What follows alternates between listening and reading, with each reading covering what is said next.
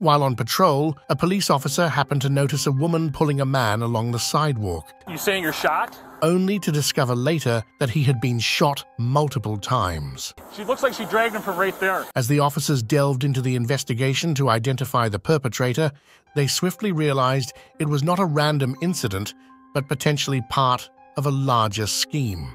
Show me your hands! On December 29, 2020, around 2:41 p.m., a Duluth Police Department officer, while on patrol, witnessed a woman dragging a man on the sidewalk. What the officer uncovered had profound implications for everyone involved. Cameron Maurice Jones. What is it? Cameron Maurice Jones. Where? Cameron Maurice. What Jones. happened to you, Cameron? I don't know. Where did you? Where you, you saying you're shot? Where? I just drug him. Call him Sit me in. Just what? What's going on Here, here? have him, have him. You got shot, dude. Where? Where? Then I had to drag him from the yard. And someone got him in the yard or on the stairs or something. Yeah, yeah. Yeah, I'll need a couple more squads here. I'm not sure what's going on yet. I got someone saying he's shot. He's bleeding somewhere Yeah, on his yeah. back. Cameron, 10 for Can you- 4636 on the way. can you Any tell me other- what happened? 21. Which house? Sit me up. Sit me up. I don't know what happened to you yet. 1047, 10 for. Sit up, sit up. Look, Which house? Right outside of here. Wait, where, where's here? Right there? Right in between, yes. Okay. This is hillside, Lake and forth, dude. This Okay, is I- ghetto shit. I, I don't know what's going on. I don't either. Like, So, he does. I don't did know. you see what happened? Cameron, No. what happened, man? Oh no. Am I, do I need to be worried about someone else coming out with a gun? Right here, give me both hands. Go this way. Well, we don't know where he's injured at. Let him stay where he's at. Can, let him stay where he's at. Yeah, at. just sit him up. Listen, wait till the I don't know. ambulance gets here. Dude, Y'all f me too. That's what Okay, I'm I don't. I'm not doing anything with you. I don't know what's going on. Police, I was trying to get me in trouble. Am, am I trying to get you in I trouble right know. now? I'm trying okay. to help somebody. But So Cameron, where are you hurt? That's weird. Always leave. 20 medical to come right in our stage. Yeah, we're right on the uh, corner here. It looks like he's got a hole in his back. Water, water. Um, looks like it might have been something in the back, but I can't tell you. I'm not getting much information from anybody.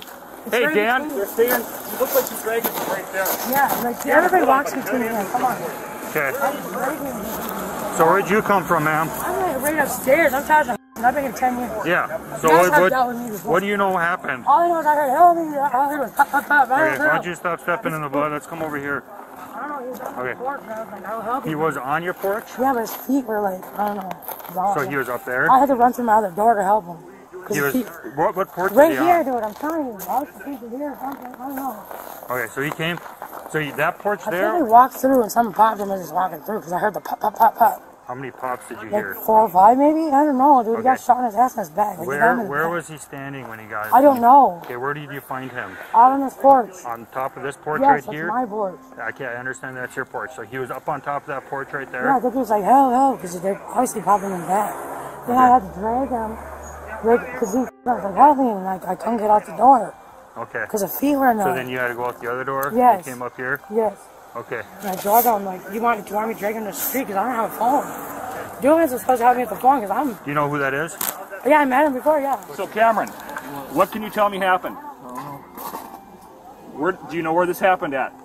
Right in the yard. Okay. Did you see anybody? No. What were you doing in the yard? I was visiting. Who were you visiting? Okay. Were you in the house at all or were you out in the yard? Hold on, bud. Okay. Where where do you feel pain? I mean there's you got a hole right there. I don't know. I can't see anything else. Cameron, we got an ambulance coming for you, okay? How you doing right now? I don't know how to breathe. Okay. Keep breathing. Why don't you sit can you are you able to sit up? We don't Okay. Can you lay on your side, buddy? Just like that. How's that feel? Okay. He's turning white. You got a blanket in your squad? Cameron, can you hear me? Yeah. Okay. Are you on any drugs at all right now? Okay, what are you on? 2923. Just weed? Ten four. Okay, how much meth did you take? When was the last time you took some? 3623. Okay. 10 4. Hang tight, bud. Hello. Unbeknownst to the officers initially, it was later revealed that the man had suffered eight gunshot wounds. Why don't you sit up for a little bit? Can you sit up? Are you able to sit up? My Okay. Okay. Anybody got a blanket on him?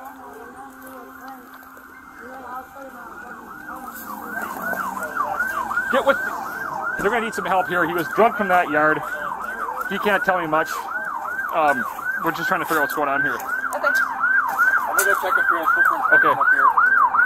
Cameron, who are you in the yard with? Myself. Okay, how long were you there?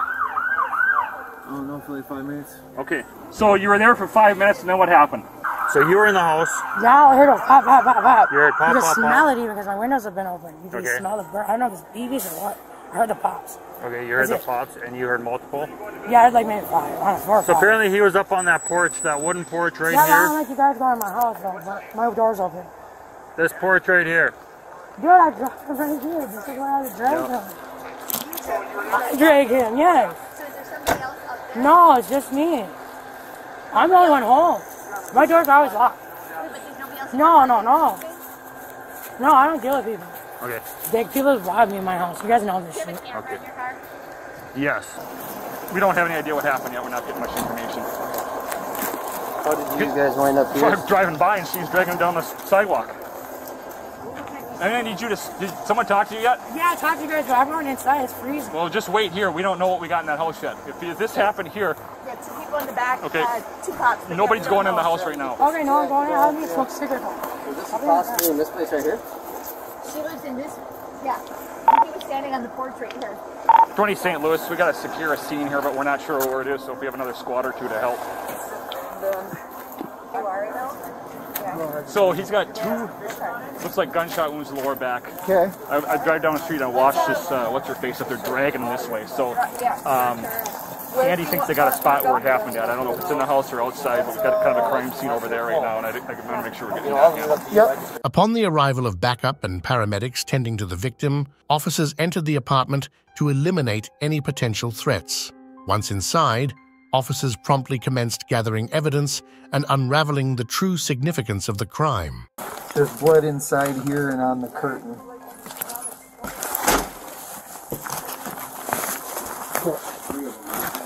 Okay. Police department! Police department! Come on out!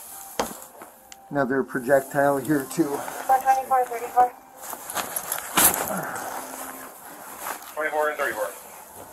I, co- I'll cover this way. Apartment number 320.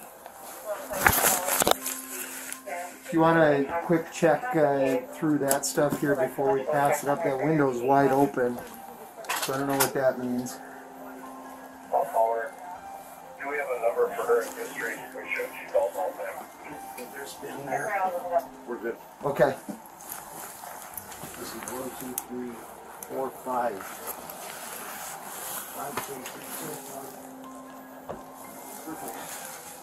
Room to the left if you want to hold that way.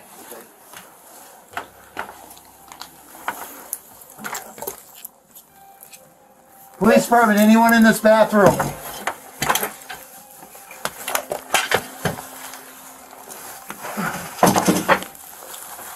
Clear.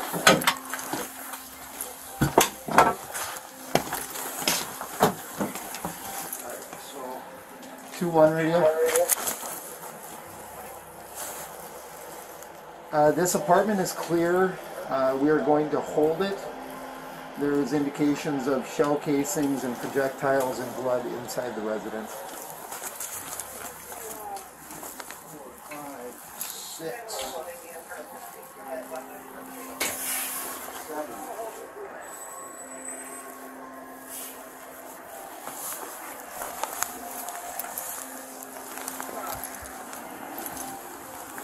Hey, Mike. So we got a scene in here. There's projectiles and casings and blood. This window was open, so I don't know if at any point anybody went out this window at all. So let's keep her out. In a subsequent interview, the woman observed dragging the victim down the sidewalk meticulously recounted the hours and minutes leading up to the brutal shooting. Each piece of information brought clarity to the scene until an unusual clue baffled everyone. So you said that um, Cameron. How do you know him? I just met him yesterday. Like how'd you meet him? I met him through my friend um, Jojo.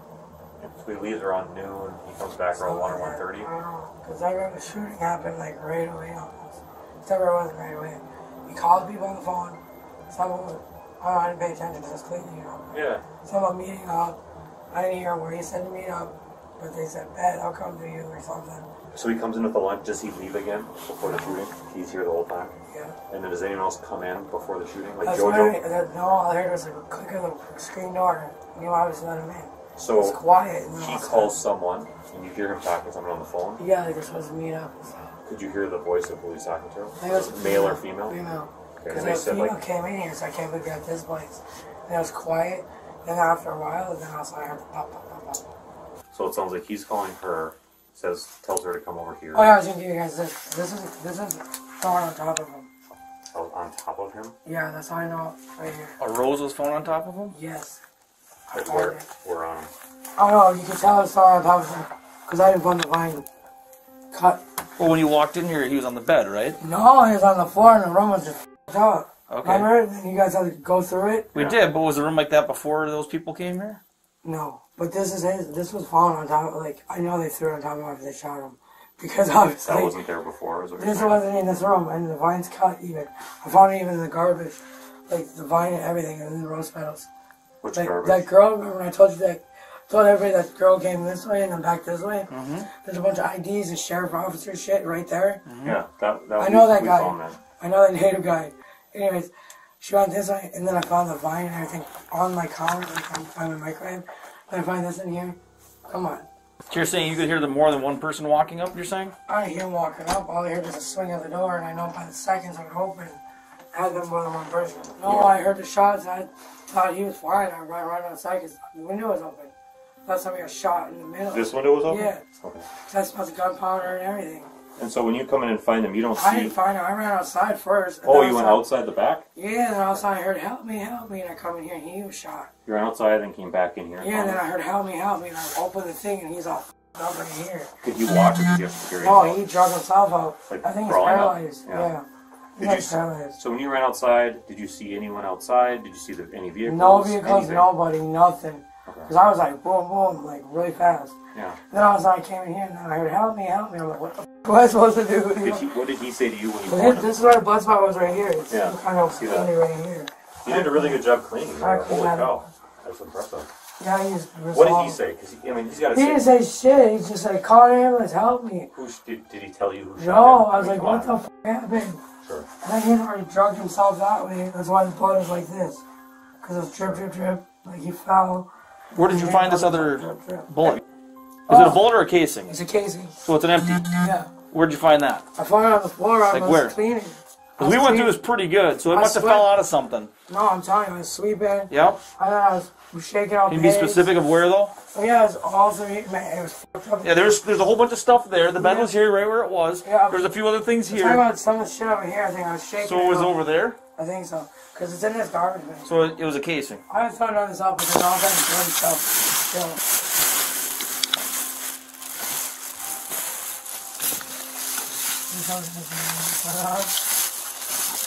Here it is. Found it? A total of 14 casings from a Browning 9 EM Luger and numerous bullets were retrieved from the shooting scene. Remarkably, the victim, Cameron, sustained nine bullet wounds but managed to survive and cooperate with investigators from his hospital bed. Despite claiming no memory of the shooting, police, according to court documents, promptly began interviewing known associates, revealing the victim's connection to Alexia Giage H. Jigay Mary Cutbank.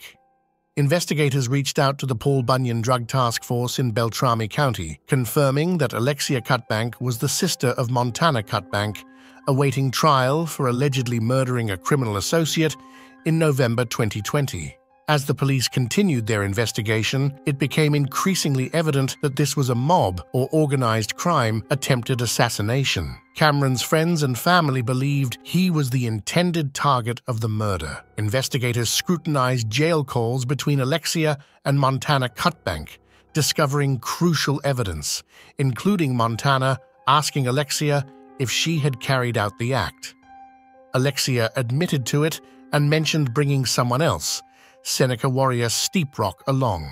Checking Montana Cutbank's known associates led investigators to an apartment where Alexia Cutbank and Steeprock were hiding. Before making contact, it became apparent that apprehending them would not be straightforward.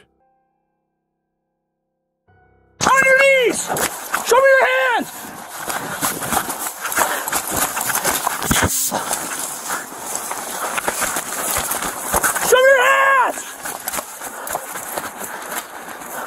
Show me your hands right now! Hands out! Don't move! Do not move! Keep your hands where we can see them! Go ahead. Do not move! Alexia Cutbank was apprehended without incident, with court documents revealing her possession of a loaded 9mm handgun, matching the one used in the attempted hit on Cameron.